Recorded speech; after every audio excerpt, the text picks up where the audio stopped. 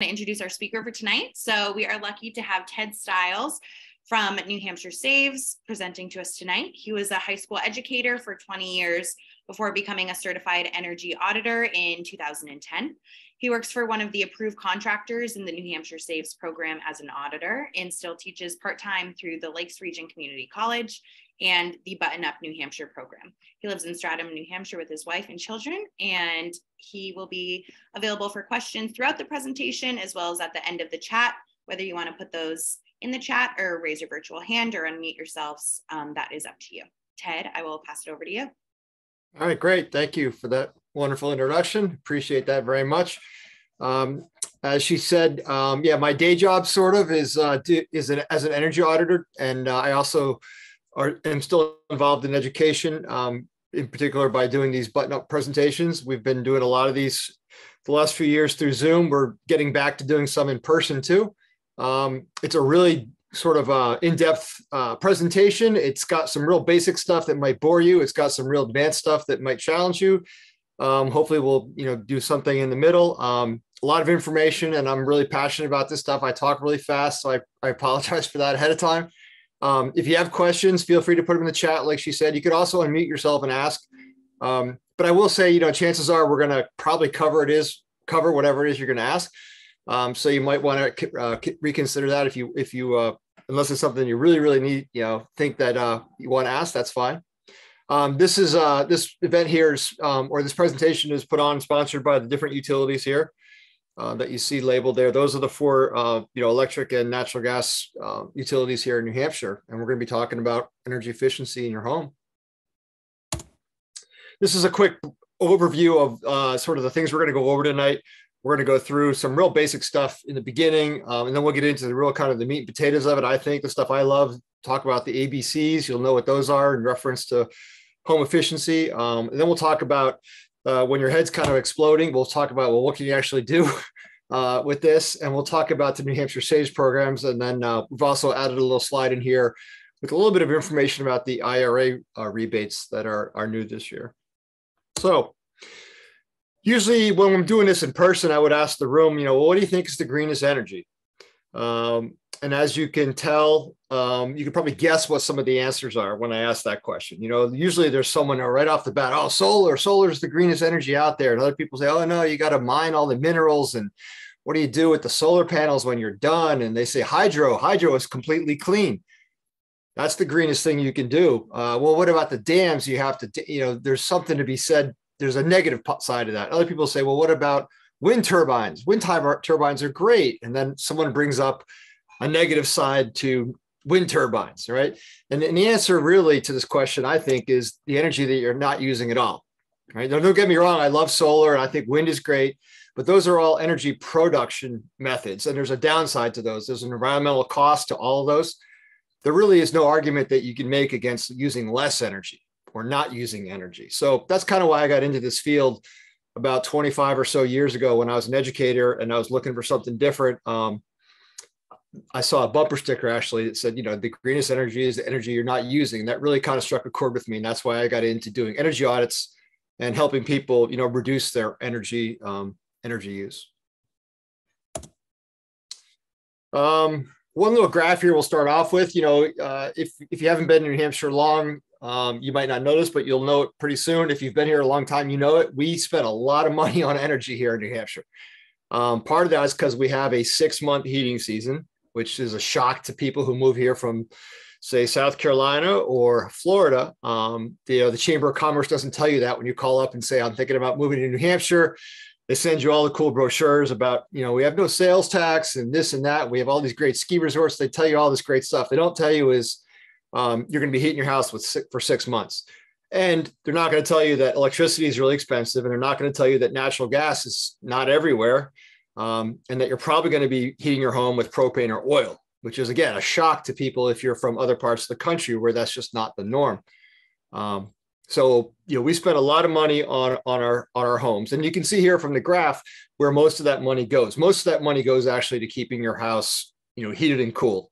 Um, so you know, the other thing I get from this graph is, you know, like I'm happy that there's engineers out there coming up with better refrigeration systems and better better refrigerators. Um, I'm not an engineer, so I couldn't get in that line of work. Uh, and I also wouldn't want to either because that's just a small little slice of this pie here. So um, that's why I'm happy to be working in the you know energy auditing field and reducing uh, people's uh, home energy use because that is the biggest piece of the pie here.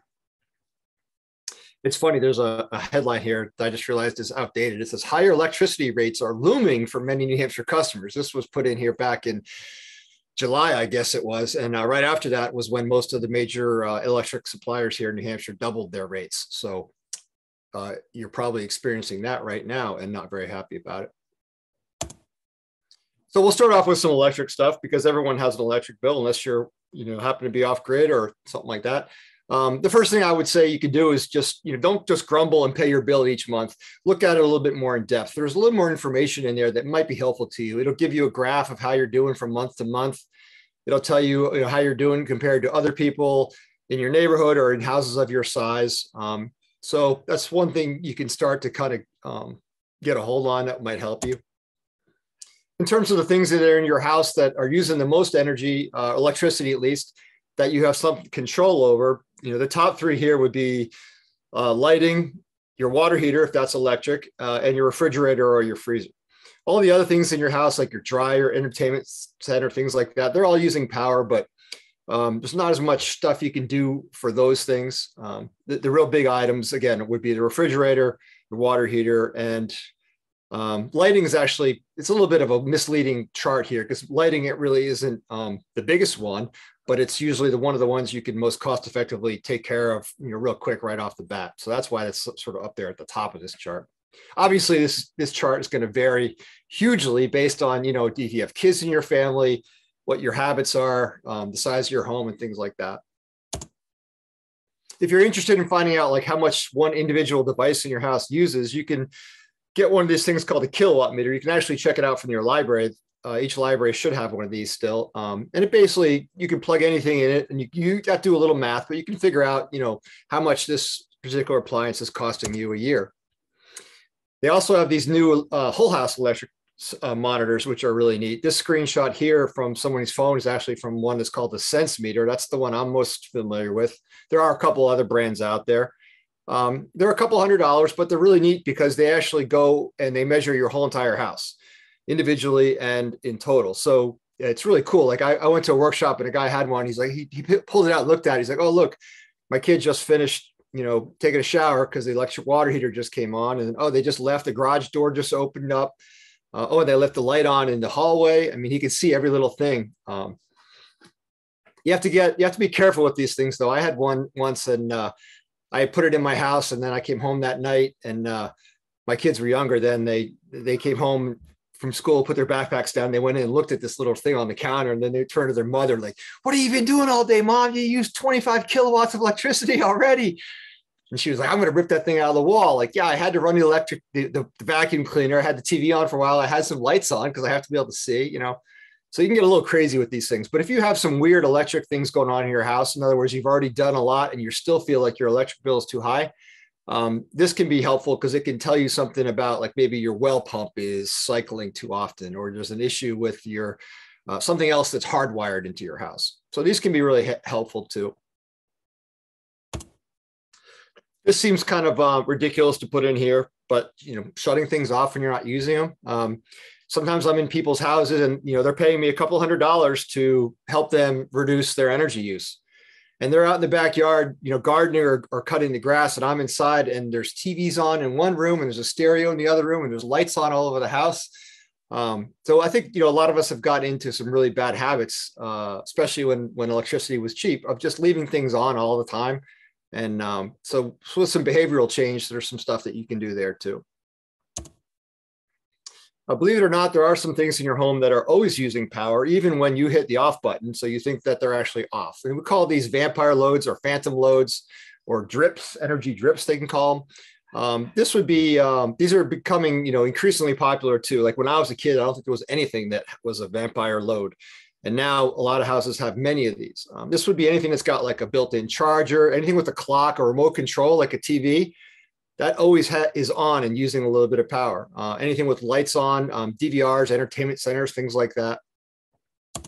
These are a couple examples that I, I found I pulled off the internet. Uh, I think the Apple TV there is the second one. That's kind of an interesting one. So that when they first came out with that, it was using 21 watts of power when you were actually using it. And when you hit the off button and, and left for the day or went in the other room, you thought it was off, but it was still using 17 watts of electricity, which is almost as much as it was using when you were actually using it. So some of these things are just really crazy. Um, the way to control this is to get one of these power strips, a smart power strip. Um, you can get them from New Hampshire Saves. You can get them from other places too, but you can plug all your things into there. Like especially, you know, a lot of people are working home right now, so you could have your computer and your monitor, your speakers, your printer, all these different things into there. You don't have to have them on all the time. Uh, you can sort of use them uh, whenever you need to. Um, this is an interesting uh, slide and photograph here that we have to switch, change this year when we uh, when we revamp the program. But anyone, can anyone figure out why this top picture here with the guy turning down his water heater is not going to save any electricity? it's kind of a mistake in the picture. Anyone can anyone want to chime in and figure can figure out why that's not going to save any electricity? He's turning it from hot to warm, so it's definitely going to save energy. I'll give you a hint. It's going to save energy, but it's not going to save electricity. Well, what's that? I thought I heard someone it's chime in there. Yeah, it's a gas water heater, so it's going to save it's going to save gas, but not electricity. Um, again, it's going to save energy no matter what. But you know, most people have electric water heaters, and if you turn that down to 120, most people have it set way too high, you know, dangerously high, where it can scald you. Um, dehumidifiers, you know, we don't want to tell you not to use them. If you need to use them to keep your, you know, your basement um, dry, use it, but you know, keep it at a uh, reasonable level. Uh, I learned really on that, you know, all my clothes I wash in cold water. Unless I have something that's really, really um, dirty and stained, you really don't need hot war- water for most clothes. And of course, you know, here in New Hampshire, at least you can still wash, you, you can still dry your clothes outside on a, a clothesline. Um, I've heard that there are some um, condo associations and maybe some other um, communities around the country that are starting to like you know outlaw clotheslines because I guess they think they're unsightly or something. But I haven't heard of that happening here in New Hampshire, so you can feel free to take care of that, you know, or to take advantage of that solar energy out there. Can't say enough good things about LED lights. When I first started doing this, we were screwing in the little CFL bulbs that had mercury and they flickered and they never worked right. They took forever to warm up. You know, the LED industry has really figured out all those problems. They've gotten rid of all those problems um, they're producing light bulbs now that look just like an old light bulb that you might have grown up with uh, that only uses eight or nine watts of, of power, but it's replacing a 75 or 100 watt power uh, uh, uh, light bulb. Uh, they have different, so many different types now. You can get them for chandeliers and recessed lights and, and lamps and three-way three-way switches. Just about anything you can imagine you can get with an LED. And they've really come down in price too. Um, they were really expensive for a while, but now they're really cheap. No excuse not to do this. Um, the one thing I would caution you is uh, to take a look at what they call the Kelvin number on the light or the, uh, the rating of the, uh, or the description of the color. Usually what you're looking for is something like warm white or soft white. That would be the, uh, the sort of yellowish picture at the bottom there. Um, the one that says daylight, it sounds really appealing. Oh, I love daylight. Who, who doesn't like love daylight, right? But the daylight bulbs are actually the one on the left there. They're a little bit more of a bluish tint. And most people find that those are really, really uh, uncomfortable in, inside the house. Um, that's actually like more like a 5000 Kelvin light bulb. So take a look at the number and go for something like 2700 or 3000, or just look for warm white or soft white. Uh, also make sure that it works for dimmers. If you're to, if you have dimmers in your house, um, you want to make sure you're getting the right one. By the way, we're recording this and the, uh, we can give you PDFs of the presentation if there's something you missed. So, because I am going to go fast through some of this stuff for sure. Other real easy things you can do, you know, low flow shower heads. Every time you take a shower, you're going to save energy. Um, a lot of people are afraid to put these in because they think it's going to be like a little dribble of water on them. It really isn't. In fact, a lot of people report that uh, it feels like there's more water coming out with a low flow shower head just because it's coming out at a higher pressure. Um, our uh, duct wrap or duct insulation, I'm sorry, um, pipe insulation like this is really inexpensive at, at any hardware store, really easy to put in and that'll save you money if you have pipes like down in your basement, places like that. Um, we're not going to recommend that you go out and replace all of your appliances with Energy Star. Um, that would be a lot of money and it would be kind of really bad for the planet. Um, so if you have something, you know, use it, get your useful, useful life out of it. But when you are looking to replace it, that's when it's time to look for that, you know, Energy Star label. The other reason to look for Energy Star is because there are some really good rebates out there now uh, for all sorts of different um, appliances. You can even get them for like room purifiers and things. If you have a pool, you can get it for a pool pump, things like that. Um, you can go to the New Hampshire Saves um, website and you get some more information about those. All right, good. So we're done with electricity, unless you actually are heating your home with electricity, which is um, a really expensive prospect these days. Uh, I just did an audit yesterday for a person that has all electricity in their house, and they are absolutely going broke trying to keep their house warm. So hopefully this isn't a picture of you like in your house, although I have done energy audits where people are wearing gloves and hats in the house because it's so cold and they either can't afford to keep it warm enough or they just literally can't get it warm enough. Um, hopefully this is you walking around outside. Um, like I mentioned, you know, we, the fact is we have to heat our homes. We heat our homes for a long, long period here in New Hampshire. Um, but when I go to do an energy audit, you know, I could just tell people, well, just turn your thermostat down and dress like this guy. You'll save a lot of money. You know, but nobody wants to dress like that in their house. You know, they, it, so it's okay to wear earmuffs going to the store, but you don't want to wear them in your house. So we want to have our cake and eat it too. We want to, um, you know, save money on our energy bills, but we also still want to be comfortable in our own homes. So that's kind of, you know, where, where the, the challenge comes in. A couple of really, uh, you know, low tech sort of easy things you can do. First one would be to make sure you're turning the heat down when you're not in your room or you're not in your house. A lot of people will argue about this and say that, um, you know, well, it doesn't it, if, if I turn the heat down while I go to work all day, when I come home, it's got to crank really high, hard and, and long to get the heat, to get the house back up to my the temperature that I want it, right? Yes, it does have to work a long time to get it back, or a little bit longer to get it back up to that temperature, but the savings from leaving it at a lower temperature all day long or at, while you're sleeping actually will outweigh the energy use that it took to bring it back up to that temperature. So it does make sense. Um, it doesn't make sense if you're only going out for you know a half hour or an hour. Um, it's got to be you know extended period of time, but it's definitely to something that can save you money. If you're the kind of person that keeps forgetting to turn off the heat or turn it down uh, when you go to work or you go to sleep, programmable thermostat. Um, I'm not a really big believer in the real high tech, expensive ones. Um, a real basic one from you know that costs thirty dollars will do almost the same thing. Uh, it'll take care of things if you forget. Uh, you know, air conditioners are supposed to be coming out in the winter, not staying in there all uh, all winter long. And storm windows are supposed to be closed in the winter, not left open the way they are in the summer.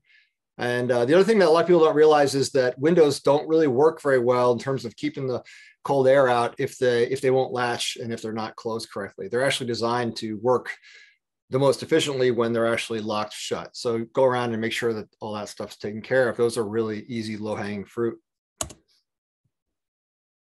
We'll do a quick review of sort of some high school physics, uh, you know, energy principles, because I think that's important to make sure you have a handle on this before we get into some of the concepts with building science and how it works in houses you probably remember this. You know, hot always goes from hot to cold. That's just one of the first rules of physics. Um, so your home is always losing heat to the outdoors through the walls, through the ceiling, through the floor. Uh, if it's colder outside than it is inside, the heat's always going through there. We can't really stop it. Uh, all we can do is slow it down, right? Uh, either a little, a medium amount, or a lot. Um, heat moves in three different ways. We got conduction, convection, radiation. There's actually more than that, but we're not going to get into the other ones. Um, and we're not even going to get into radiation really either, because that's not really a factor here in New Hampshire. In Hampshire, uh, the first two are the ones that we're most concerned about, conduction and convection. So conduction, as I mentioned a minute ago, is sort of losing heat going through a cold area through a solid surface. So this person here is holding like a metal rod or something in a candle. Well, eventually they're going to wish they had a glove on because that heat's going to go right through the metal rod and then get to their hand. Um, and that will work, you know, that works sort of throughout all the different parts of your house too. So how do you conduct that? Well, this person would put a glove on. A glove is an insulating thing. It will actually protect it. It's a it's a poor thermal conductor. It does not allow the heat to go through very quick. Um, so that's a good thing. So we want insulation in our houses, just like this person, you know, wants a good, good glove on their hand. a lot of things can be insulating, right? Everything is actually insulating to a point. Um, here's a couple examples of some things that I've seen in houses in the last few years that um, are insulating. They're not necessarily the best insulating thing. Um, anyone take a guess at what that insulation material is on the top left? It's that stringy looking stuff. Chances are you don't have that in your house. It'd be really rare, but it could be. I've only seen three or four houses in 12 years that had this, but that's actually seaweed. Uh, and that was a house way out in Walpole, New Hampshire, which is way far away from the ocean. But there actually was a company uh, back in the day called the Cabot Company. I mean, I guess it was named after the seafaring uh, navigator uh, Cabot. Um, and they actually used to dry out seaweed and bag it up and send it out. And it would got installed in people's homes as insulation. Um, bottom left is balsam wool. That was uh, a big product back in the 50s. You know, an inch or two of that that was considered an insulated house. I mean, that would be laughable today, but back then that's was insulated. Um, those are pantyhose and underwear on the top right. I mean, this person must have been really desperate because they were taking their underwear and stuffing it into the holes in their walls, literally. So uh, yeah, people are doing some pretty desperate things to try to you know keep their houses warm. I took this picture recently in the top left and I showed the homeowner because they and they couldn't believe me. I'm like, they'd never been up in their attic before. I was like, yeah, somebody decided before you, before you bought the house, someone decided that all the old chaise lounge cushions and all their old down comforters and stuff would be good insulation. So they dragged it up through the attic hatch and like threw it over there in the corner. Uh, it probably does have a fair amount of R value to it in terms of insulating, but not the best thing to have in your attic. I'm sure the mice loved it, you know here's some a lot of corn cobs that are either left over from a, a farmer who dumped them up there or possibly some rats that brought it up there. Kind of hard to tell. But a lot of houses in New Hampshire will have some, some pretty strange things in them. I mentioned the term R value. R value is just a number that we use to rate uh, something's ability to slow down heat loss. So the higher the number, the better it is at slowing down uh, heat loss. Um, it doesn't automatically mean that the higher the number is the best. Um, this is per inch, right? So fiberglass is about three and a half. Uh, cellulose is about the same thing. You get start getting into some rigid foam boards and some spray foams. You can get up to six or seven. Um, you know, a concrete wall or a brick wall doesn't really matter if it's four, six, eight, ten inches thick. It's really only about R1. Um, so everything is sort of, you know, varies there. Uh, so in certain situations, you might want to use something different than others. Um, we'll talk about that a little bit later. Um, again, it's not all about the numbers though. You could have something that has a really good R value per inch, but if it's installed poorly, which oftentimes it is, because in New Hampshire, like you, you, need a license to cut hair in New Hampshire, but you do not need a license to put in insulation. Uh, so there's a lot of places that get done really, really poorly. Um, so a lot of it's about the install. All right, so a new house in New Hampshire, uh, is supposed to be uh, following certain um, R values for the different assemblies, and there they are at the top. And the average house in New Hampshire is usually nowhere near any of those numbers, whether it's the attic or the walls or the basement walls. Uh, you know, I'm in houses that are sometimes, you know, R0 or R1 maybe at the most in the attic or in the walls or in the basement. Um, again, not every, uh, some people are shocked when they move here and they find out that their house is not anywhere close to any of these numbers. And you don't even need to be a licensed contractor to build a house in New Hampshire. And some towns don't have building inspectors, and some that do aren't really enforcing the building code. But technically speaking, if you look look at the book, we're supposed to be following 2015 building code right now.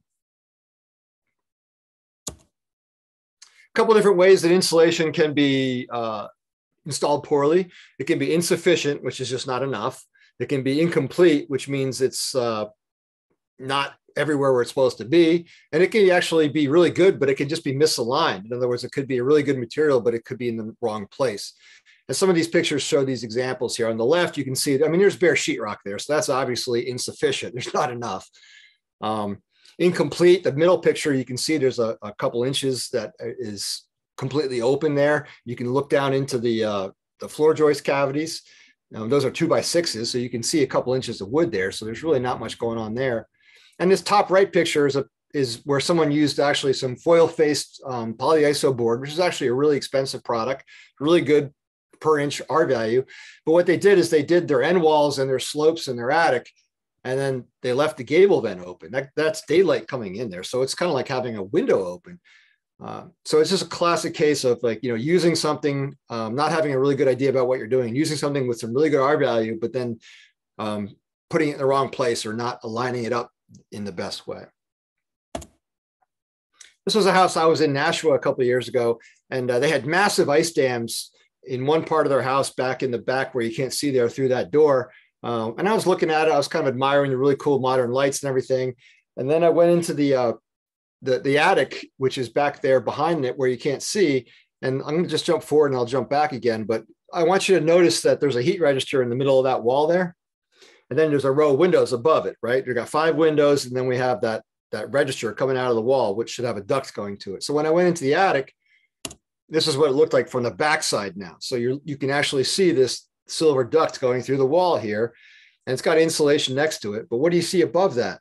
No insulation, just wood.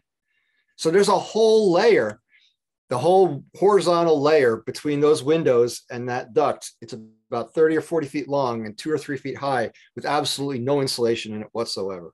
And this is a really new house, a really nice house too, with a massive ice dam problem, just because somebody didn't really think about uh, or fully kind of investigate, well, where are we supposed to be putting the insulation? You know, they threw it up in the obvious spots, but they didn't realize there's this other spot up there that needs to be done.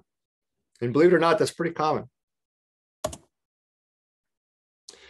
All right, I'm not going to embarrass anybody by asking them, but to yourself, you can answer this question and see if you're right or not. True or false? Does heat rise?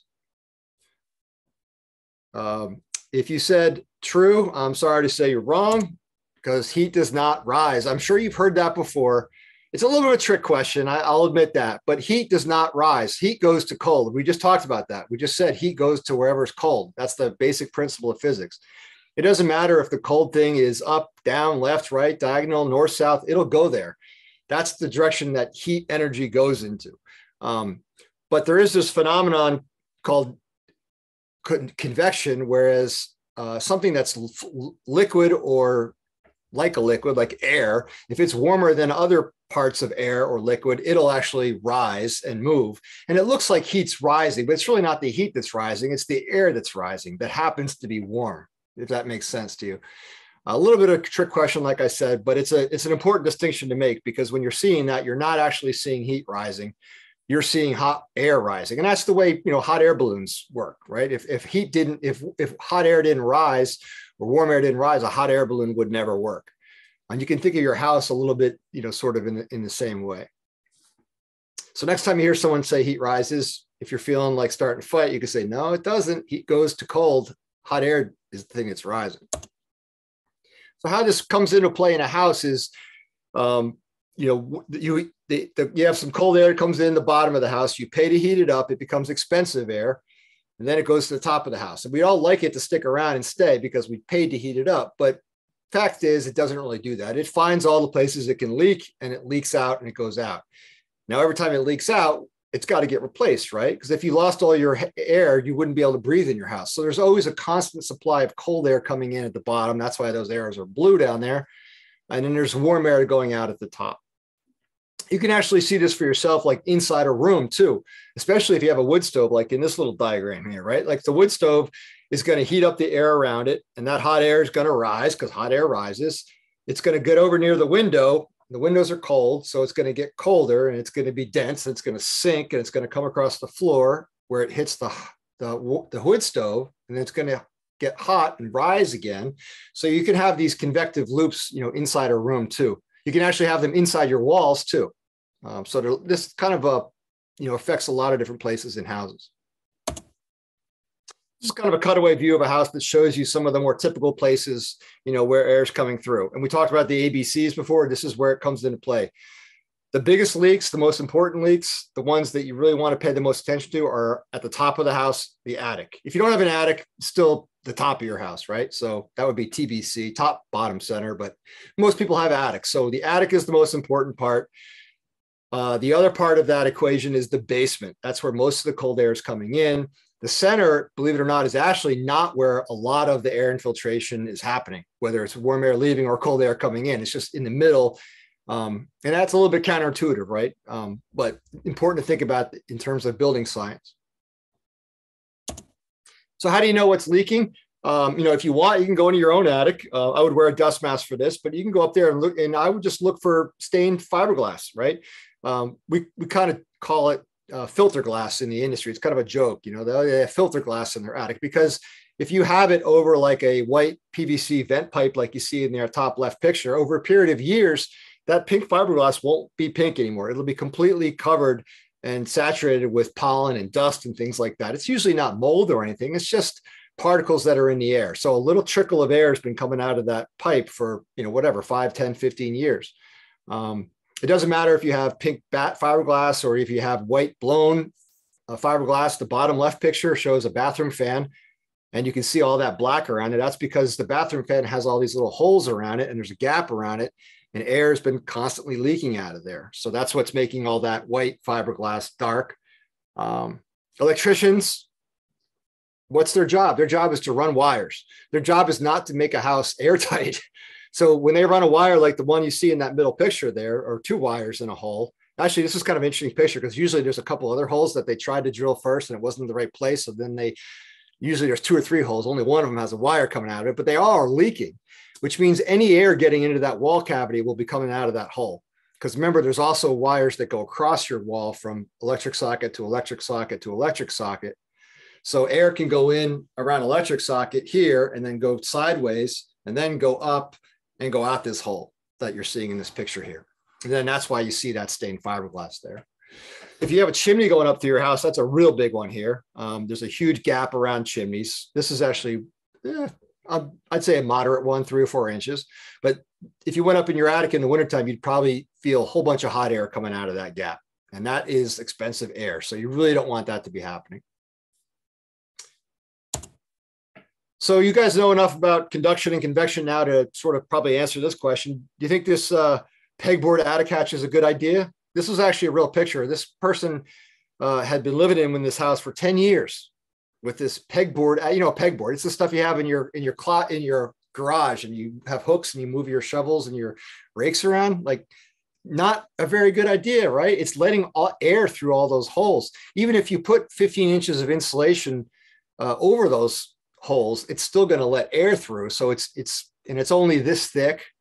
Wood is about R1 per inch. It's only, let's say this is a quarter inch thick. Let's say it's really thick. It's a half inch. It's still only R0.5 and it should be R50 for this little bit here. So really uh, a lot of things like this um, that you may find if you start poking around your house a little bit harder.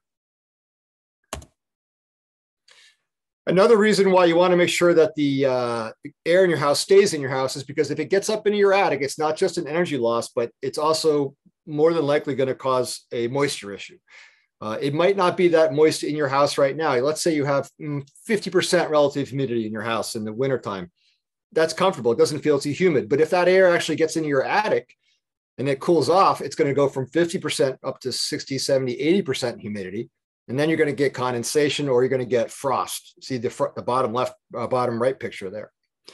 Um, now I'm not a mold expert technically, so like if I went in this attic, I couldn't tell this customer that's definitely mold. I would might say you might want to get, you know, uh, a mold company in here to look at that to see if it needs to be remediated or not. Um, but if I touch that stuff and it's I'm like, oh, that's frost. Like I don't have to get a license or take a class to know what frost is. Uh, and I'm in attics sometimes where the whole underside of the sheathing is covered with frost or, or just you know, water if it's not cold enough for that. So there's a lot of other, uh, you know, building durability issues and, and health and safety issues that come with this type of thing. Um, we talked about the attic going down in the basement. Obviously, if you can see light coming in around the door, well, first of all, you should make sure you have a door like this. Uh, I'm in homes sometimes they don't even have a door going to the bulkhead. Um, bulkhead doors are not designed to be airtight. They're only designed to be watertight. Um, so weather stripping on this door would be a great idea.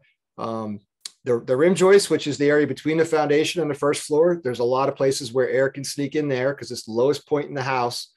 Um, and the wood twists and it shrinks over time and foundations settle. So there's a lot of big gaps usually in most people's houses there. And you don't want to just stuff in fiberglass like, like it's shown there in the middle with the big, you know, red X because that's not going to do anything. Um, bottom picture shows you why, because after a couple of years, that's kind of what it'll look like.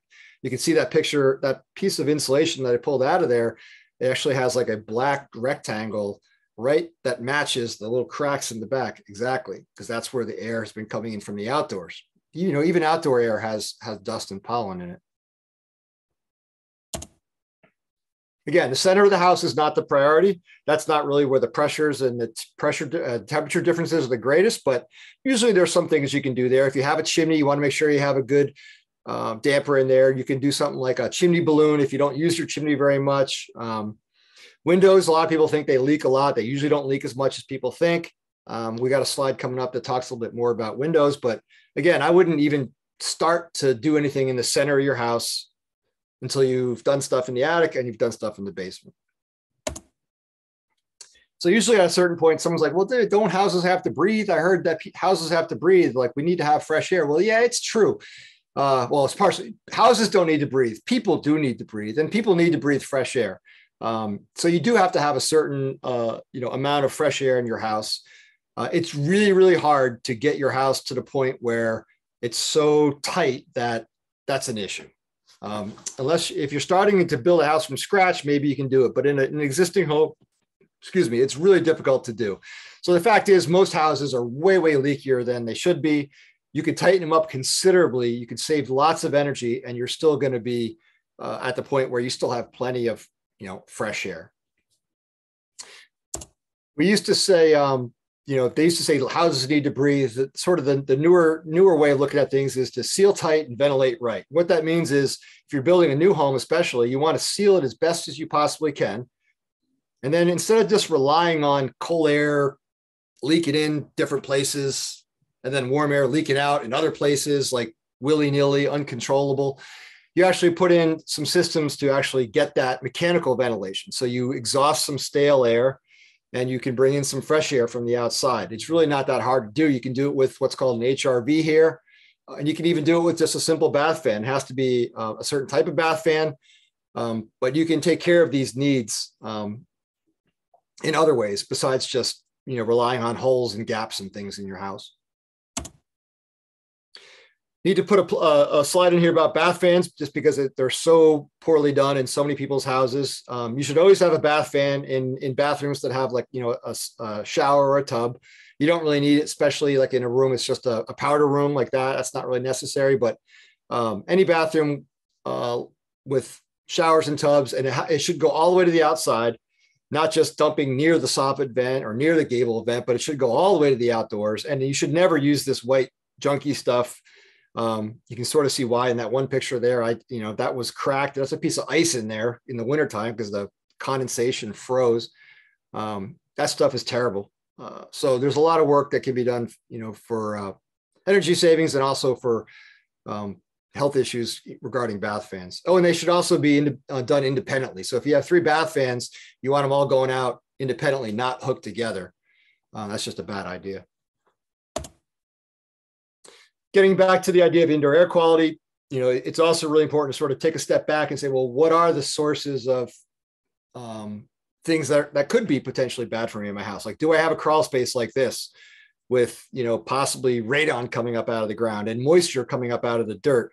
Um, am I storing gasoline in my basement or paint, things like that? Um, is my dryer going outdoors or do I have that dumping into my basement because I think it's helping me save energy? Like there's all sorts of things you can think about.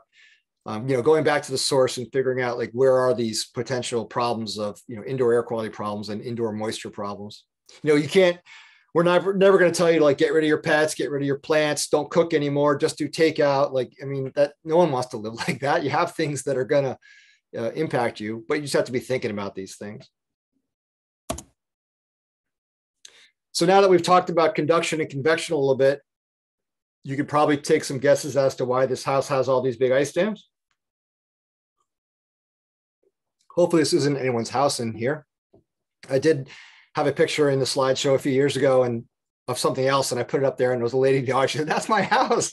so um, I think this house was actually taken. This is actually over in Vermont, I think. But now we never promise anybody that we can get rid of their ice dams, but in most cases, most houses that have heat in them, the, if the ice dams are there, that's because of heat loss, right? And that's something we're trying to combat here. So the two, two, two things could be going on here, one or the other, or both. Um, this, this attic could be fully insulated. it could meet the you know building code R value of R50, and it still could look like this. And the way that could happen would be it's got tons of leaks and holes in the ceiling. So all the air in the house is getting up into the attic and just going right through the insulation and, you know, sort of rendering it meaningless. Um, it also could be only R19 or R10 in the attic. Uh, and it could be perfectly sealed. And you still might have an ice dam situation like this because the heat, remember, is always going to be constantly going through the sheetrock, working its way through the insulation.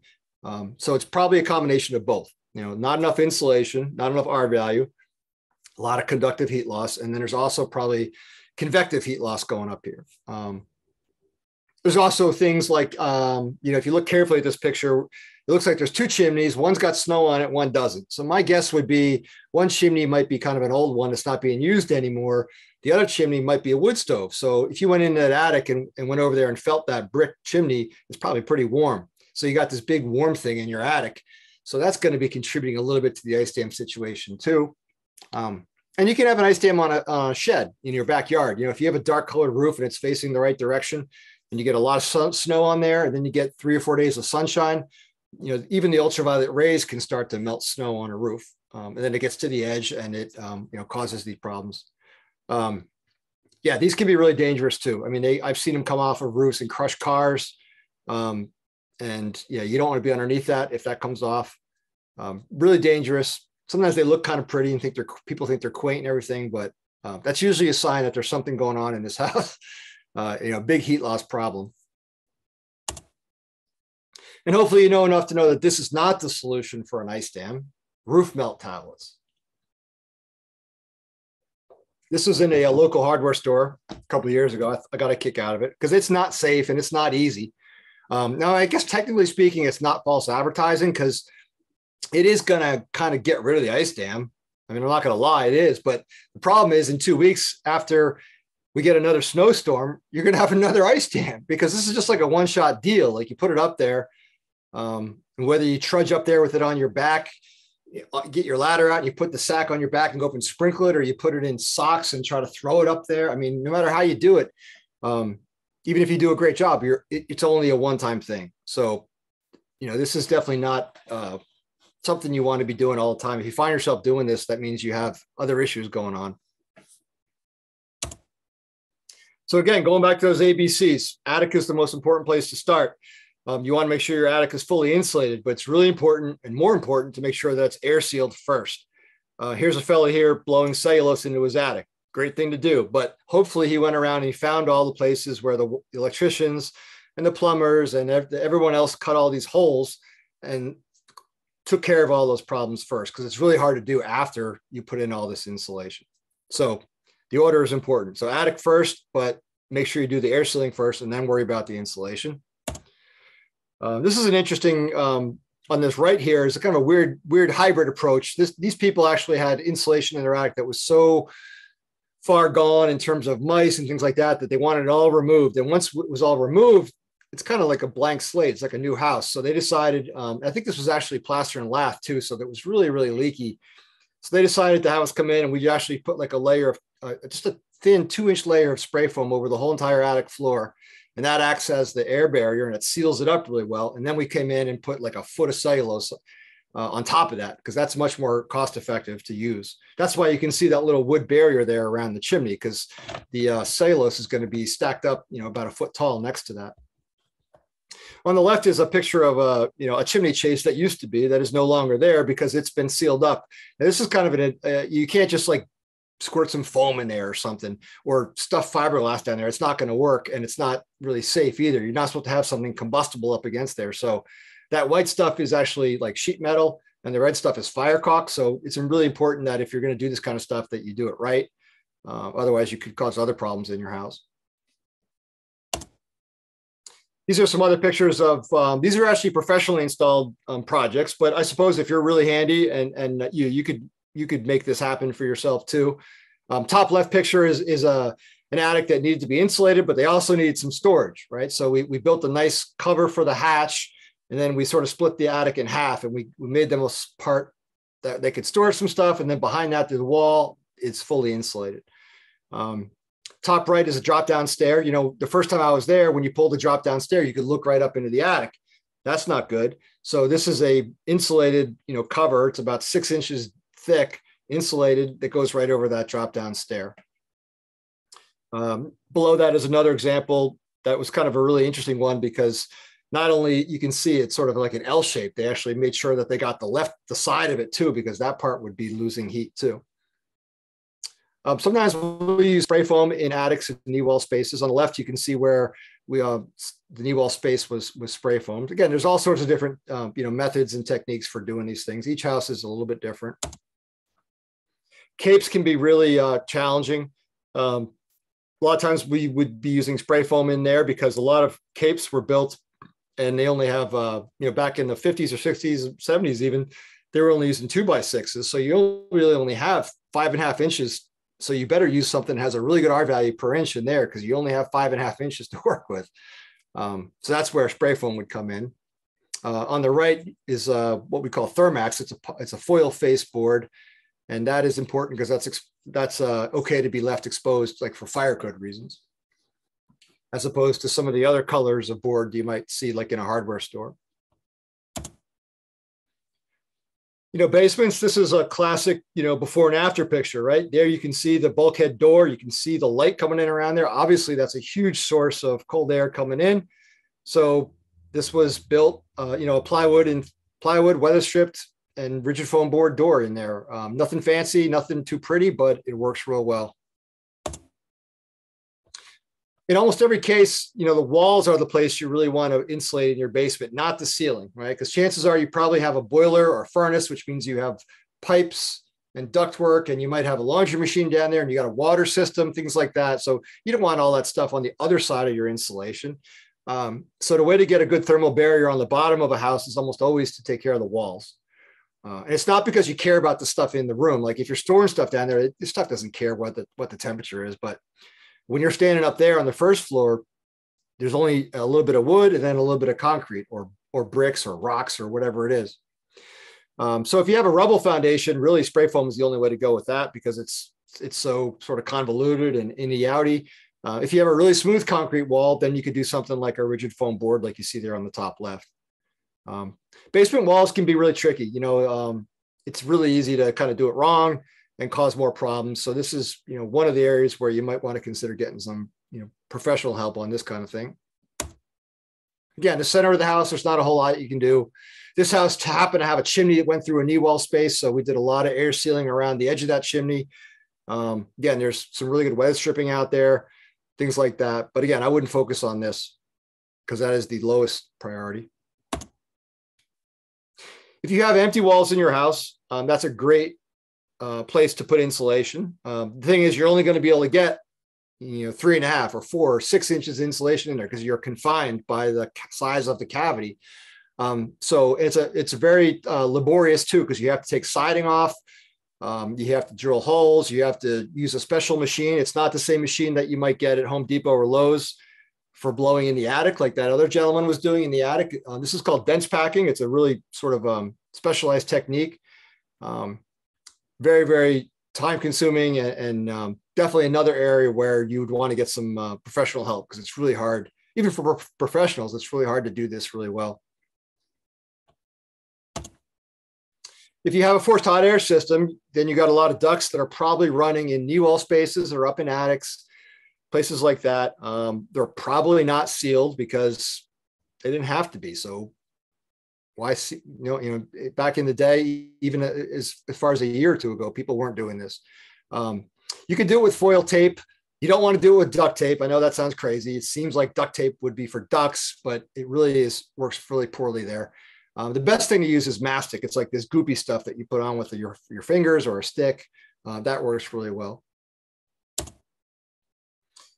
So hopefully there aren't any uh, you know people who are close to the window sales industry, or there aren't any window salesmen in the audience because uh, I'm probably going to insult them right now. But I don't know what kind of math those people use because um, they're selling all these windows saying that they're saving a lot of energy, and they really don't.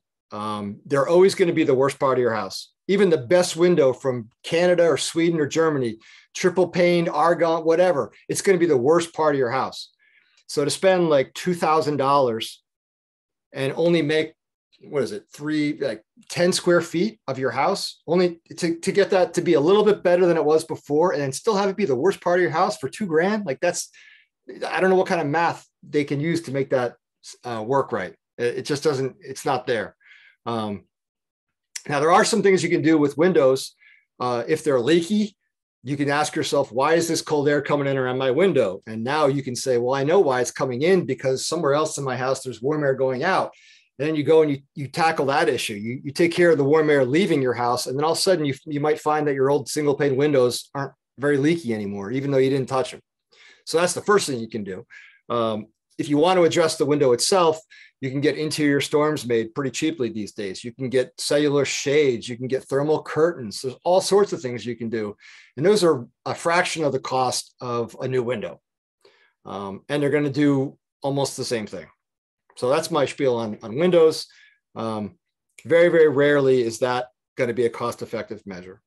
We're going to talk, you know, near the end of the presentation about the New Hampshire Saves rebate program. Guess what? They don't cover windows because windows aren't a cost effective measure. That's why they don't cover them. Um, so yeah, so we're probably feeling overwhelmed because I've been going for a long time and a lot of information. So let's just talk about, you know, what does it look like to get, you know, get professional help? I mentioned that a few times. Well, getting an energy audit might be a really good idea for your house rather than just trying to like figure it out on your own and piecemeal it and, and then wonder. Um, and an energy audit is going to be like a comprehensive assessment of your whole entire house. It's not just going to be, you know, one attic. It's going to be every attic, every knee wall space, every crawl space, every basement look at how everything's working together. They're going to do combustion safety testing on all your heating equipment and your hot water equipment, things like that. And then you're going to get a written report at the end. It's going to tell you, like, okay, here's what's going on. Here's the best way to do it. Here's how much it'll cost. Here's how much it'll save. Um, really, really good investment. Uh, I do audits for houses that, that are from 1700, and I'm doing one later this week. It's a brand new house. The lady just bought it, and she's convinced that there's something wrong with it or shortcut was taken. And I got a feeling I'm probably going to find it because there probably was. Like I said, in New Hampshire, it's kind of the Wild West. So you don't need to be, uh, there is no training or certificate or uh, like licensing for energy auditors here. So you want to get someone who's um, got some experience and got some training and got some certification.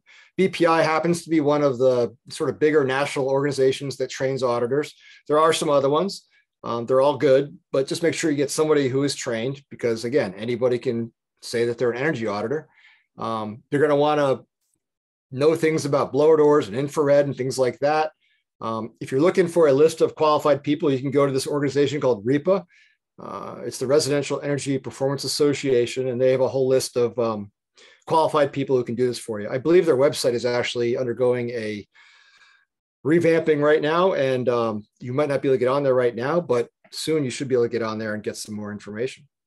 You can also contact New Hampshire Saves, which we're going to talk about in a little bit. Even if you don't get into the rebate program, they can actually forward you the names and contact info of some some people that they use uh, in their program.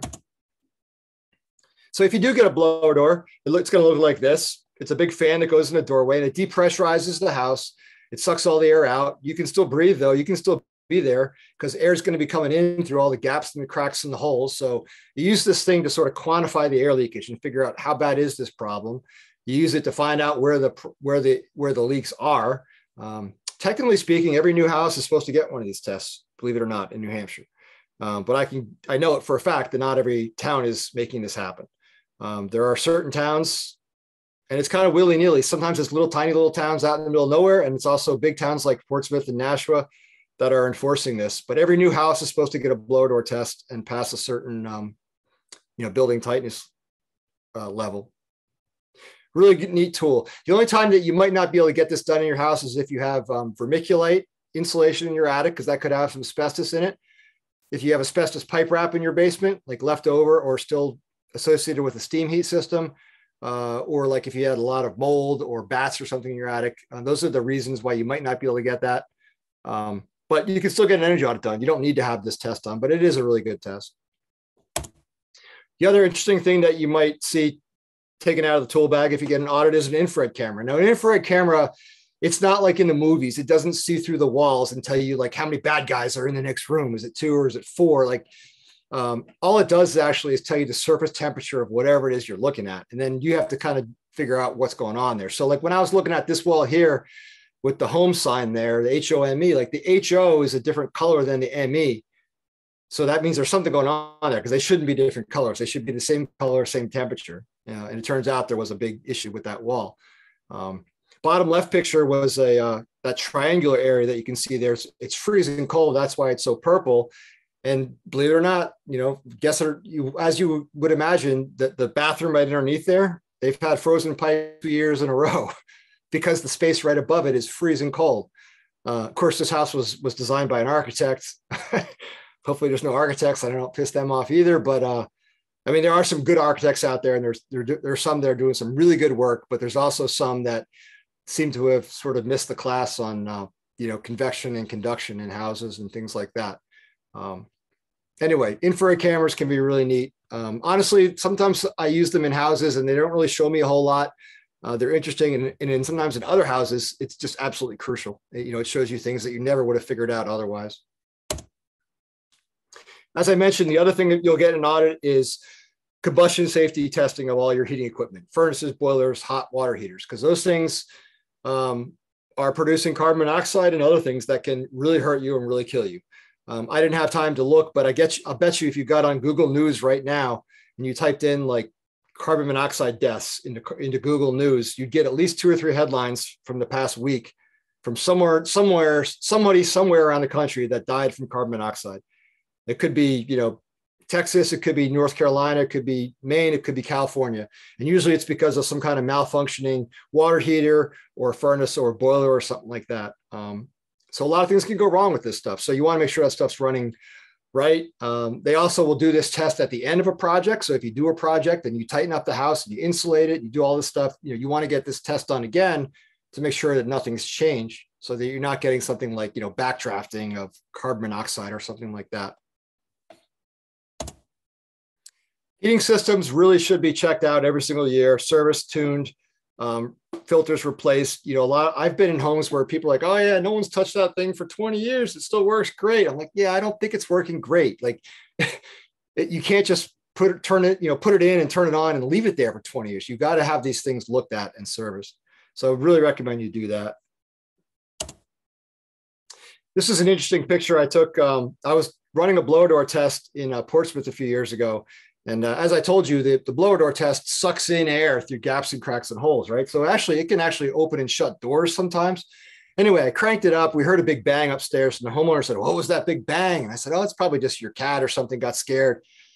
She said, "No, I, I remember I don't have any pets." And I said, "Well, it's probably just a door." Anyway, long story short, went upstairs and looked around. All the doors were still open, but in her bathroom, this was her her uh, mirror over her sink. It, I sucked it right off the wall and, and it dropped into her sink. It didn't break or anything. Not that I'm superstitious, but behind it was a big hole and that went right into a big attic you know and that's where she said well this was a flipped house and it was built in the 50s and i'm thinking yeah you know there was probably like a really ugly medicine cabinet there and the house flipper just like chucked it in the dumpster and was like oh what's the cheapest thing to do um yeah just go to the home depot get a little mirror we'll just put a nail in and put a mirror over it you know so all the air in her house all the warm air was going out around that mirror and then out into that attic. And she had a really bad ice dam situation over there, and her bills were sky high because she was essentially heating up, you know, an uninsulated attic.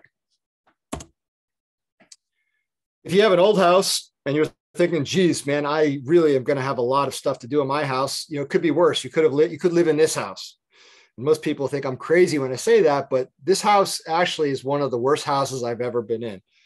From a energy point. It was also the biggest house I think I've ever been in almost, and also the most expensive. Um, very beautiful house. That's Lake Winnipesaukee in the background there. Uh, I mean, this house was in the rebate program, so that means their their fuel usage had to be really bad. And I'm thinking maybe I got the wrong address, you know. But I knocked on the door. They said, "No, come on in.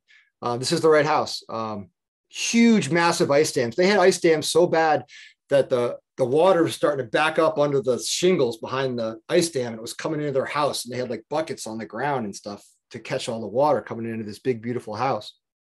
So i'm looking around i'm trying to figure out you know what's what's weird about that house and i found something really really obvious and, and easy. Um, and it was one of those learning experiences where you just you, you, you never know which houses are going to be um, you know need a lot of work and which ones don't so there's a lot of programs through New Hampshire Saves. There's lights, there's LED lights, there's appliance rebates. I mentioned all those. There's uh, even if you're building a new house, there's rebates for that kind of stuff. Um, but we're, what we're really here to talk about is for people who have a home now and they want to get an audit done and they want to get work done in that home, a retrofit project. So I'm going to move through these and then come back to that just for time. Um, so this is how you uh, get into this New Hampshire Saves rebate program. You go to their website and you have to know a couple things. You put a couple things in in their calculator, and if you get in, you get a hundred dollar energy audit, which is a really good deal to start with. Um, and then they'll actually pay for 75% of the improvements, up to $6,000. Um, now, the catch is that the improvements that the auditor finds and puts into the computer software, they have to meet what's called a benefit cost ratio, which basically means, you know, how much does it cost the utility and how much energy does it save? And if it's good enough, then they'll pay for it. 90% of the time, it's not a problem, especially if you're using propane or oil. It's usually not an issue. Everything that the auditor finds, utility's like, yeah, yeah, we'll pay for that. We'll pay for that. We'll pay for that. Um, sometimes if you have natural gas and some other things like that, sometimes it can be a little tricky to get those um, improvements to, to meet the muster there, but um, still a really, really good program. They also have some financing too that goes with this stuff too. So not only would they pay 75% of it, but in some cases they'll pay a significant part or all of your part of it too. And then they just tack it on your electric bill uh, I know Eversource is doing it for at zero percent, so they're basically forwarding you the money to do uh, this project, and then give you know just tacking on your electric bill. And usually the savings over the year are greater than the increase in your in your bill. So great program. So you go to this website, you go to test your home, and then you click on the button, and you got to know a few things. You got to know how big your house is. Um, that's important that it's the heated space, not the not what your tax card says the living space is. Sometimes those things are not the same. There are some towns that would call like an unheated sunroom on the back of your house a living space, but that's not heated space, that's living space. So make sure you're only using heated space in here. Uh, you put in your zip code, you put in your, your electric uh, utility, and then you put in how much you use for heat. It could be gallons of oil, it could be a cord of wood and um, therms of of uh, natural gas. It could be pellets and it could be electric combined. You can put in two, two types of heat into here. Uh, if you have more than two, you can actually still get into the program. You just got to call them out. You just have to call them and they will figure out how to take your third or fourth heat source and turn it into a fuel type of the other one. For instance, if you had oil, electric, and wood, you can't put all those in. You can only put two. So they, you would put in like the electric, or maybe you would put in the, the uh, oil and the wood, and then they would look at your electric bill and they would put in the electric on their own. And then you see if you get in, you hit the go button, and you actually is a little speedometer like this. You have to get, well, in the past, you had to get an eight. If you were in it, got an eight, you were in the program. Things have gotten a little bit tighter now. Now you have to get a nine if you're Eversource or the co-op. And you have to get a 10 if you have Liberty or Unitil as your gas or your electric. So the, the threshold there has changed a little bit. It's gotten a little harder and it kind of varies from utility to utility, which I'm not very happy about. You know, it's called New Hampshire Saves. I think it should be the same for everybody. Uh, and I've made my that opinion known, um, but for it is what it is for now. Um, I don't know if we have anybody here from New Hampton, Ashland, Wolfeboro, or Littleton, but if you are, sorry, you're out of luck. Um, you guys have your own little municipal electric companies. Um, so you can't really get into this program. Um, you, you don't have Eversource. You have to have Eversource, the co-op, Liberty, or Unitil, which are the you know the four suppliers for the rest of New Hampshire besides those four towns. So you plug your numbers in, you keep your fingers crossed. You hope you get up to the level that you get in. Then they let you in the program. An auditor comes out, does an audit, gives you a proposal. Um, it might look something like this. This is a, a one we did recently. Um, you know, on the left is all the proposed, it's obviously longer than this. This is just the contract part, right? So the left is the improvements. It tells you the cost. It tells you how much the rebate would be, how much your part would be, payback, et cetera, et cetera. The, the numbers I want to bring your attention to are at the bottom where it says totals, right? So this project was a total of $10,000. Pretty big project uh, the rebate was going to be six thousand dollars. So EverSource was going to pay six grand of that, which only only left four for the homeowner. Now this person actually did the whole project. If you decided, oh well, four is, even four is too much for me, daughter can go back in and say, okay, well, let's see what would happen if we just did the attic and not the basement, or vice versa. Um, we can change things. It doesn't have. It's not a take it all or leave it kind of thing. So this project had um, increasing the attic floor ventilation uh, insulation. We were reducing the air leakage by a couple hundred. We were improving the rim joist insulation in the basement. We were also improving the basement wall insulation. It looks like. So we were kind of doing a lot of different things. Um, but it doesn't have to be all those things. That's my point. Um, by the way, if you are a uh, uh, if you're a renter, you can still get in this program. Um, you'd obviously have to work with your landlord, um, but it, it, doesn't really matter if you own your house or you rent your house. We can we can still do it. If you're a landlord, on the other hand, let's say you're a landlord and you have a, a, a pretty big house. We're doing one right now in Exeter that has five apartments in it. The owner lives in one and he rents out the other four. Well, guess what? They all have their own electric meters. And guess what that means? They he gets five rebates because it's not done by the address, it's done by the electric meter. So he got five rebates from the electric company. So he's getting like, I don't know, something like $20,000 from the electric company to get all this work done in his house. And it's only going to cost him like three or four, I think, at the most. Um, really, really good program. There also are programs for people who are income um, dependent.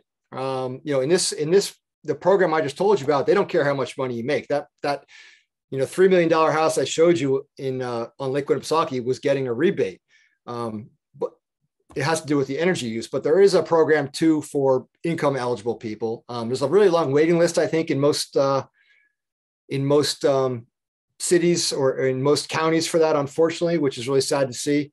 Um, we're hoping that with the IRA money coming in, uh, that hopefully those programs will expand and that that that waiting list will go down. Uh, right now, I think there's a pretty significant waiting list for that. Um, what else? Oh, I wanted to go backwards a little bit and show you some of these other rebates. If you're thinking about getting, um, you know, if your heating system is getting near the end of its useful life, or you're worried it's going to, um, you know, die in the middle of the wintertime or something, that's the time to look for, you know, a more efficient way of, of creating heat in your house. There's a lot of different uh, rebates now for higher uh, efficiency systems, uh, especially uh, cold climate heat pumps or mini split systems, you may have heard them call. Um, those are really um, becoming more and more popular. Um, I was at a workshop the other day, and the main rep for one of the major manufacturers has just moved over to New Hampshire because he's actually said he's kind of bored in Maine. They are giving out so many rebates, and people are putting in, re- in heat pumps so quickly in Maine that um, he, he wants to make inroads in New Hampshire because New Hampshire is very, very behind. Um, so heat pumps are, I have a slide coming up in a second about those. But again, you really want to be focusing on your, your, your building envelope or your thermal boundary, your air boundary first. You know, any good HVAC person will tell you that. Um, same thing with solar, right? Any good solar installer will, if they go in your attic to give you an estimate for a solar system to see like, is, is your roof strong enough to hold the solar panels? Like if they don't see any insulation, they should be recommending an energy audit first because um, that's going to be a, a much a more cost-effective measure uh, than what they're offering. Um, again, nothing against solar. Solar is great, but that's not the place to start.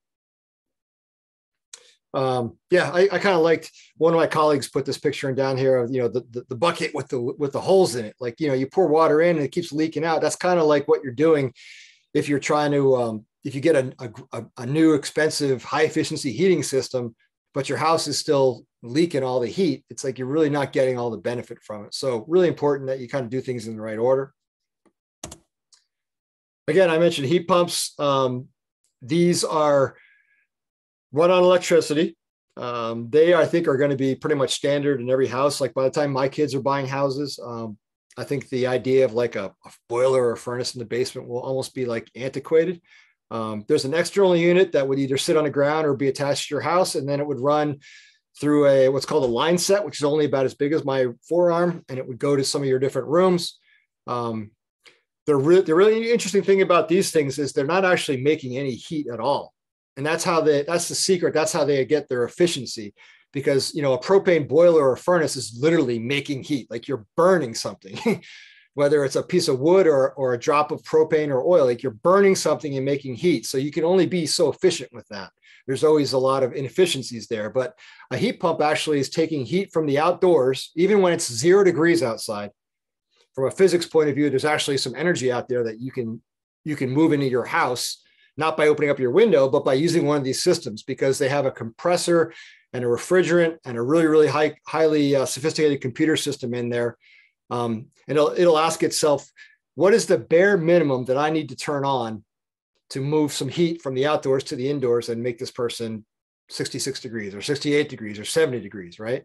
So they're very, very, very smart as opposed to your boiler, your furnace, which it's kind of stupid. All it knows how to do is be on or off. Like if you come home and it's 66 degrees in your house and you want it to be 68, you turn on the boiler or the furnace, it's going to kick on at full speed to get you there only two degrees. If you come home at night at 60 and you want to get to 68 and turn it on, it's going to do the same thing. It's just going to turn on at 100%. Um, and and really, uh, oftentimes boilers and furnaces don't need to be on at 100%. They could be on a lot less than that, but they don't know how to do that. So that's part of the reason why these heat pumps are so efficient. Is they they're almost never at zero or 100%. They're almost always um, like in between somewhere. In the same way you drive your car, right? You almost never stamp your foot on the, put your foot, you know, pedal to the metal and you almost never take your foot off and just coast. You're almost always somewhere in the middle. You have your gas on a little bit, just enough to get you the speed you want. And that's what heat pumps do too. Um, they're actually more than 100% efficient, which sounds like it violates the laws of physics. Like how could you, how could you use one kilowatt of electricity and make two kilowatts worth of heat? That doesn't seem like it's possible. But again, because of the refrigerant cycle and the compressors and the the, the computer technology that's in there, they actually are able to do that. Um, they actually are able to work in the, in the coldest times of the year too. Um, a lot of people think that they won't work in New Hampshire. They do. They actually just did a study after that big freeze we had uh, in Maine because we really haven't had a really long extended um, freeze like that for a while. All these heat pumps, I think 1,500 got put in in the last year or two in Maine, and they contacted every single person and said how'd it go during that you know negative 20 and they all said that it did fine. So there really were no issues with these heat pumps. Um, the rebates for these things are a little bit different than like the insulation rebate. It's done by the ton so it depends on like how big a system you get. So obviously that the bigger the system the more rebate you're going to get. Um, yeah and there are some other rebates for um, you know things like going to a natural gas boiler or furnace let's say you have oil right now if you have that, that that capability of getting natural gas there are some things you can do with that too. Again you go to new hampshire saves website and uh, it takes a little bit of time honestly to get through there but it, they're, they're doing a better job these days of making it a little bit easier for people who find what they need there. It'll say like you know are you a business owner or are you a homeowner? Are you looking for insulation or are you looking for you know a new furnace or a boiler or you're looking for a heat pump and it'll kind of lead you down in the right direction. Um, i also should point out i hate to sort of toot someone else's horn but efficiency maine is also a really good resource. If you're looking to learn more about this stuff um, obviously if you live in new hampshire the only rebate available to you is from new hampshire saves. If you live in maine they have the equivalent similar thing called efficiency maine but uh, I'm really impressed by their website. Um, they have a whole bunch of resources on their website. Um, just on heat pumps alone, there's like eight different buttons you can press. Like, how do heat pumps work? What's the advantages? What's the disadvantages? This kind of thing. Um, a lot of educational things on there. So if you're interested in that kind of stuff, you know, go to that efficiency maine website and you should be able to find that stuff. Let's see, we went through all this stuff and we ended here. Um, IRA stuff is a little bit new. Obviously, it's still being hammered out. Um, there are some really good rebates coming down the pike. Um, it has to be kind of planned out by the states, unfortunately. So I'm not really kind of holding my breath for the Department of Energy in New Hampshire to really quickly get this thing rolled out. But there is going to be a bunch of money coming for a lot of things. Um, you know, have to do with electrification and and uh, energy efficiency, that kind of thing. Um, but again, there's a little bit of a question there about how it's going to work. Um, there also are some tax uh, incentives for a lot of this work too, and that stuff is um, you know not dependent upon the states. That's a, a national thing. So there are uh, you know tax um, credits or deductions that you can take for say insulating your home and getting an energy audit, that kind of thing. Uh, there are certain limits. I think it's 1200 bucks or maybe 1400. Uh, it might say it here. I can't remember. I did some research I actually got this off of um, Senator Shaheen's website. I'm not promoting her or anything like that. I'm just saying that's um, somebody told me she's got a good website with information on it, and that's where I got it from. Yeah, so it says twelve hundred dollars, um, except for heat pumps, and you can get up two thousand dollars for a heat pump. So again, yeah, heat pumps are a little bit uh, expensive sometimes, um, but when you factor in the fact that they're going to work for a long time, and if you're going to be in your home for a while, um, they also the other benefit about using an electric heat pump is that if you ever got into solar electricity on your roof or in your backyard as a ground mount system, then you can disregard the the energy spikes that the uh, utilities are putting out there in terms of electric rates because you've essentially established your own electric rate for yourself for the next 20 years. You know not just for your your lights and your your plug loads but also for your heating system if you actually have a heat pump that works on electricity so i think we uh, covered all that. We did the basics in the beginning. We went over the ABCs. We talked about adding insulation wherever you can. Talked a little bit about getting some help from experts, um, how to do that, what you might expect, and then a little bit about the New Hampshire Saves programs and all those different offerings. So at this point, I'm going to um, give you my email there. If you have any questions, you feel free to contact me. And we uh, I just I just put on a, to anybody else chat, who wants questions. Uh, in the chat, I put in um, a question.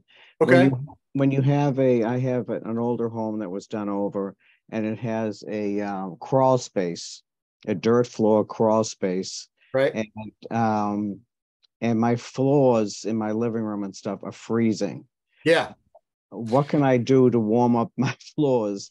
Well, you you, it's you know, obviously I'd have to yeah, someone have to take a look at it, but I mean you could put insulation under the floor that would help your floors get a little bit warmer. But if you got a whole bunch of pipes or ductwork underneath that insulation below it, you're really not going to save a whole whole lot on your energy bills because a lot of that heat is going to be um, getting dissipated into your crawl space, which is not insulated. Like you wouldn't want a bedroom that's not insulated. In the same way, you don't want um, you know your basement or crawl space usually not to be insulated. So probably spray foaming the walls in there will probably be the best thing. Uh, if it's a dirt floor, you'd want to put poly down over that too to keep the moisture down. Um, I was telling Emily, I, I, looked at a house yesterday. Uh, she said she went to UNH. I did an audit yesterday for two girls that are students at UNH, and they were living in this. Let's say it's a low rent place in, in Somersworth, New Hampshire. mm-hmm. um, they didn't. They had no idea about the basement, where it was or anything. I went outside, looked. There was a bulkhead door, so I opened it up and I went down there and there was like two feet of water in the crawl space. Oh, I couldn't even go in there. It was so deep. Um, yeah, crawl spaces are notorious for having issues and problems, yeah. but um, I was told not to put the pink insulation there because it will just get damp. Yeah. You know, and, and yep. rot and that It'll attract mice. Mice will have the yeah. beautiful time making nests up there. That's a terrible way of doing it. Yeah. Either on the walls or on the ceiling. Either way, that's usually, that's yeah. the kind of stuff that we're usually actually removing, you know, and right. then, um, and then insulating the walls. And unfortunately, with a crawl space like that, uh, is it a boulder crawl space or is it like concrete block? Um, combination, I think. Yeah, if, it, if it's a smooth concrete wall, then you could, in theory, put some rigid foam board against it. You have to make sure it's um, really well sealed against that concrete wall, though, because yeah. if you just mm-hmm. kind of put it up there loosely, um, air will get behind it, and then you can have condensation issues and things like that. So you know, unfortunately, that's probably an area where you'd want to get somebody to look at it and, and look at doing some spray foam on there. Yeah. Okay. Well, thank you very much. You can actually get like um, Home Depot sells home like spray foam things. You can do it yourself.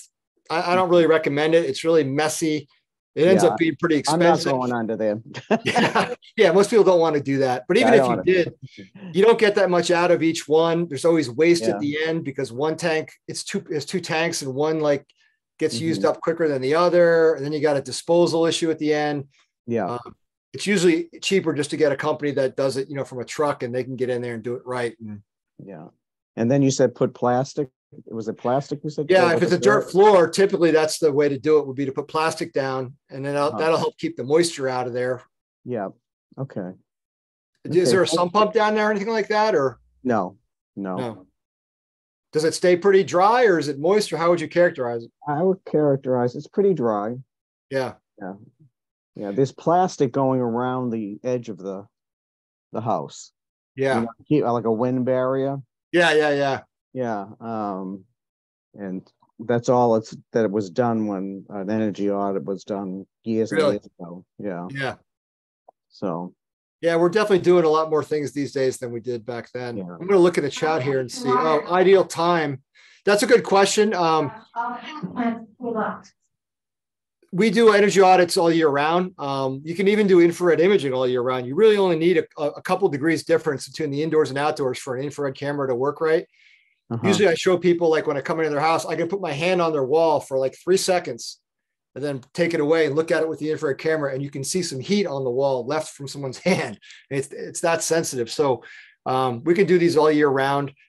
Some days you get a you have a couple days in the spring and the fall where it's like 70 degrees outside and 68 inside the house, and sometimes it can be really difficult. But you know, most mornings, even in the summertime, most mornings it's pretty chilly outside and the house is a little bit warmer than that, so you can still get a good infrared image.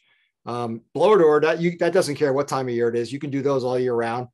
Um, so yeah, audits can be done all year round.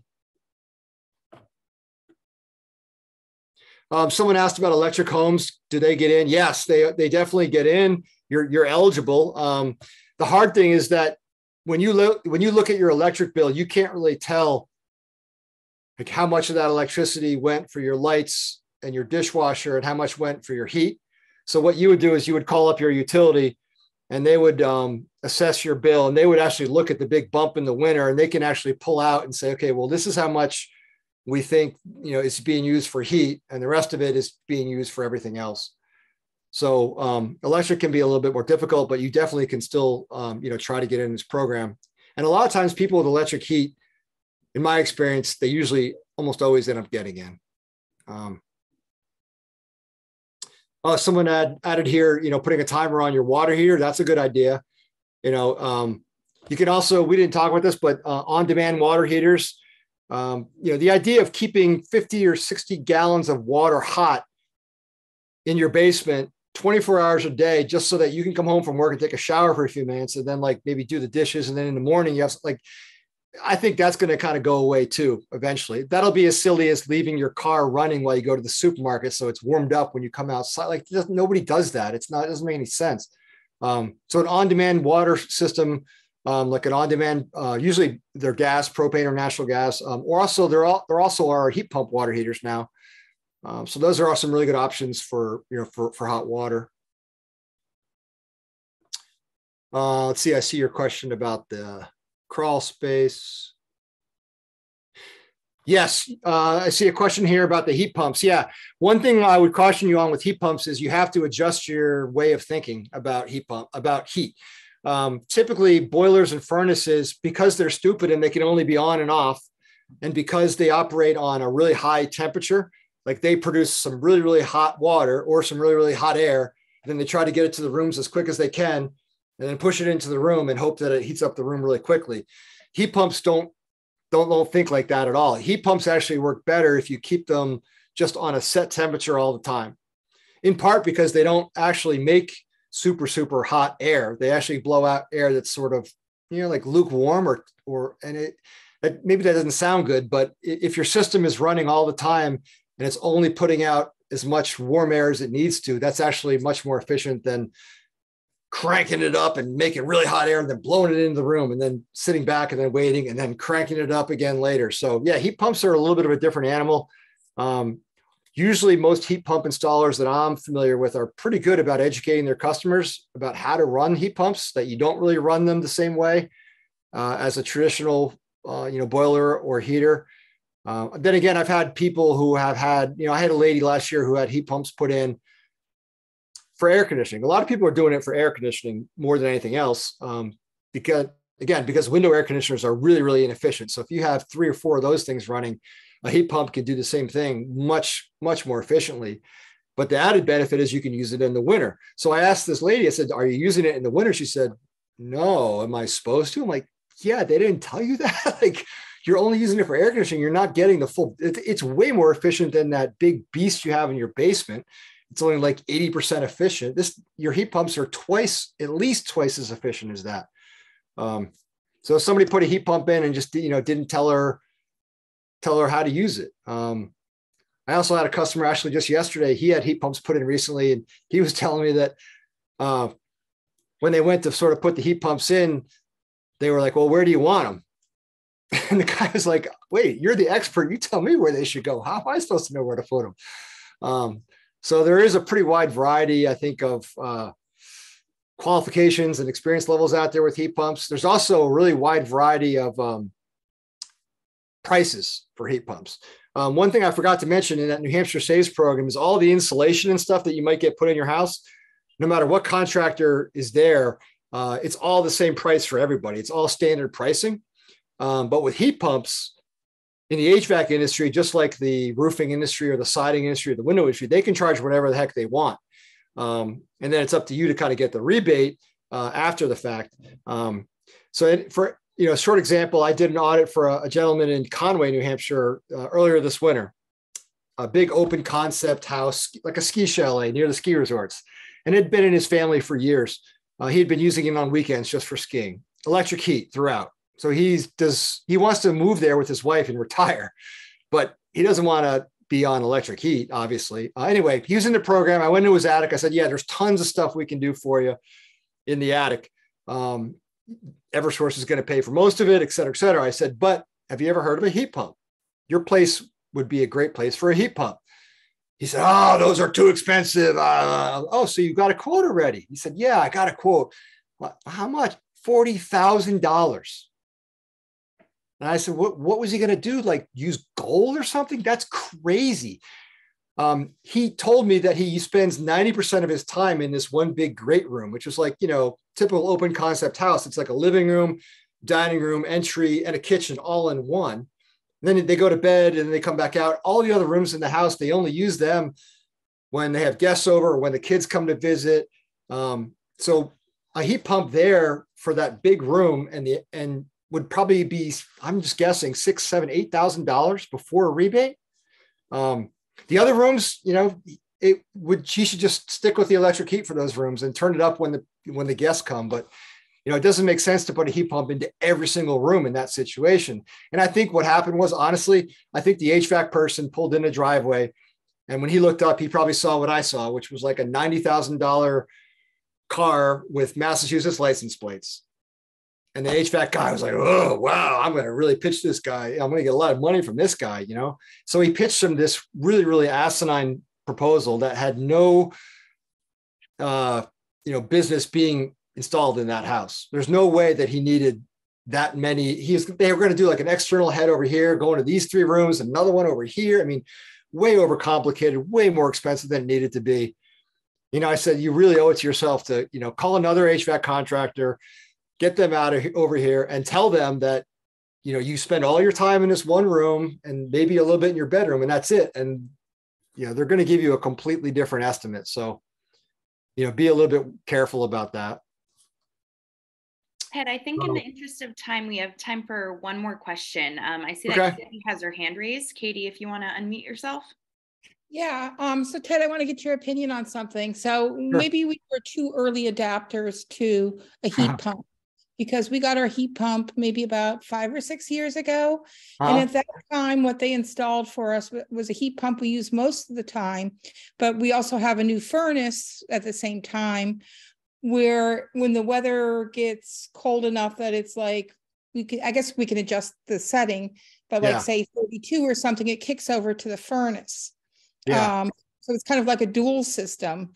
So um, so I guess I'm a little frustrated to hear that there's now these cold climate heat pumps that can handle cold weather better, including this last cold snap we had.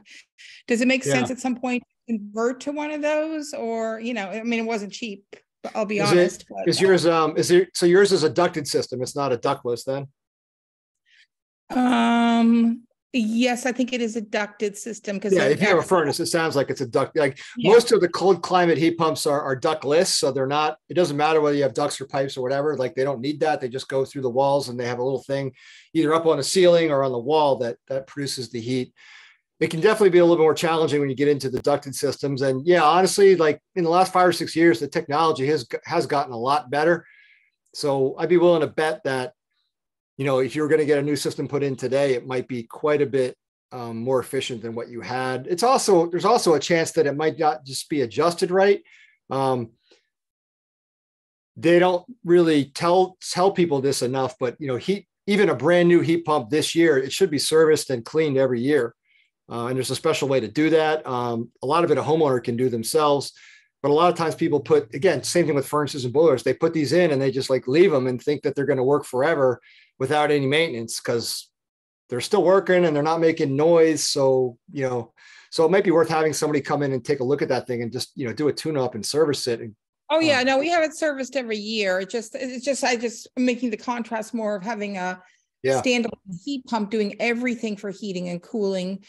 You know, we made the switch actually because we our AC broke and then we decided to Yeah. upgrade the system, but it's a combo furnace for when the temperature really drops, plus a heat pump for right.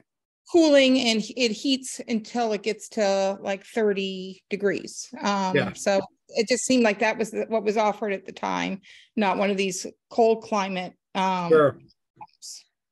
Yeah, and, and, and to be honest, it's, it's a little bit outside of my wheelhouse because we don't install heat pumps or anything. But I'm I'm wondering if there's a chance that yours can be like tweaked or or renovated or retrofitted to be a little bit more efficient. I, I don't honestly don't know Okay. if that's even possible. You might be just sort of stuck with what you have. Yeah, Um, yeah. I, well, I'll ask that question. So th- Yeah, thank you. yeah. Well, Ted, Thanks thank for your you, time. Thank you so much for such an interesting presentation and all this really, really helpful information. We really appreciate all of your time. Um, Well, and you're welcome. Else, I will be following up tomorrow with the recording link in um, Ted's slides, and I can also send you this information on his email if you have any follow-up questions. Great. Thank you very much, everybody. Thank you so much. Have a great night.